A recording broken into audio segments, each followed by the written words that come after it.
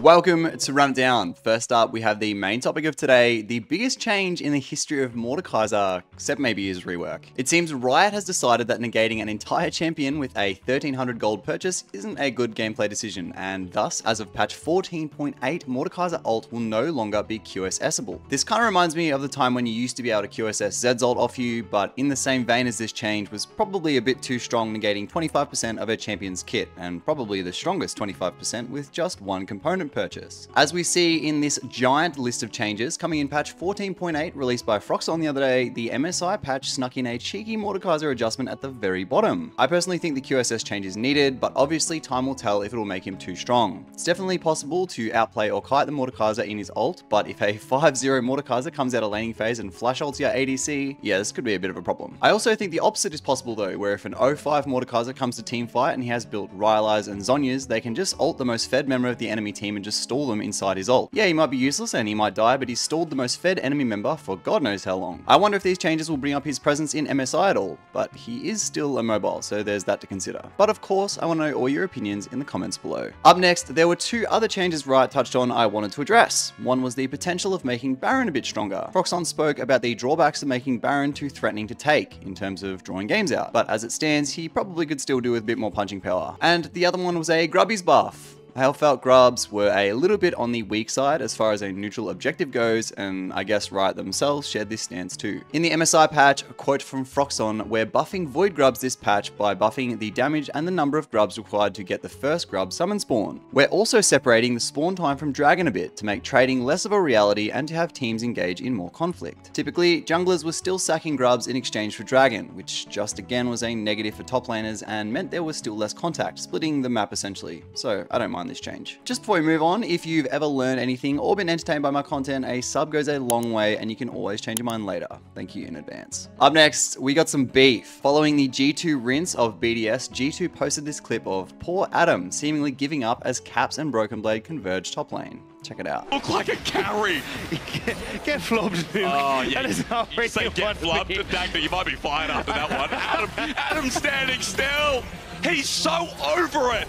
I don't blame him. Why would you? He's experienced trauma in this game. Is he talking to Swiffer? Adam might try and turn around on Caps. I think. As far as competitive integrity goes, I don't really think I've seen someone basically S key in a competitive game. It might even be against the Riot competitive rules. Uh, one of them says, I must try my hardest to win at all times, or something like that. I don't know. Uh, I think I even saw a photo of Adam all chatting, asking G2 if they can FF because the game was pretty much over. Either way, G2 versus BDS garnered a fair bit of response from the wider community, with Montecristo tweeting about the whole thing, saying, quote, I think it's clear as day that G2 scrims will leak to BDS. No way in hell that BDS BDS would have had their bot lane at red buff on blue side at 130 otherwise. It's funny that G2's scrim opponents think the only way to beat them is to surreptitiously leak their lane swap strats. To which Adam, the BDS top laner replied, you're actually so fucking delusional. Shout out to Labrov calling the swap angle the moment G2 locked Sion. Besides that, we also know what's going on in other leagues. We saw the NIP game. Our adaptation on game one was full on Labrov instinct that we listened to. Get a life. This response, completely ratioing Monte, got another reply from him saying, quote, you might be right. If you had fully prepared for it, you might not have picked Aatrox and played like shit. To Monte's statements, essentially accusing BDS of cheating, then getting proven wrong, then just flaming Adam for no reason, a lot of people were in support of BDS, claiming there was actually a high probability they knew what was going to happen based on G2's draft, seeing as the same strategy was done in Game 4 of NIP versus FPX when a lane swap happened. This isn't the first time Adam has been amidst controversy, seeing as he has had instances in the past involving his integrity as a player, but yeah, I don't think he's in the wrong with this one. But of course, you guys let me know what you think in the comments below. So uh, up next might be one of the most unique pentakills I think I've ever seen. This comes from Saskio, a long-standing high elo Vayne player from NA. Just check it out. What the fuck?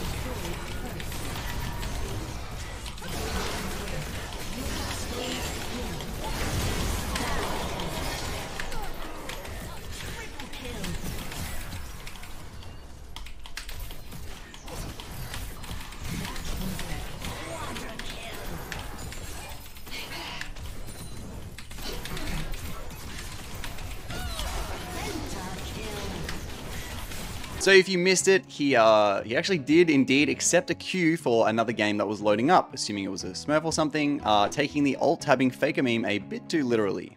literally in the middle of a pentakill, this guy alt tabs to accept another games. Crazy stuff. And for the last story of today, I just have to share this achievement by Manco, a high elo Teemo player from NA. Instead of telling you what's so impressive about it, I'm gonna let Pobelter and Doublelift and Charismai. Wait, it's is it Teemo Shaco bot? Holy shit, little devil Teemo is popping off right now. This, these guys are going demonic. I actually should have went cleanse if I knew it was Teemo Shaco.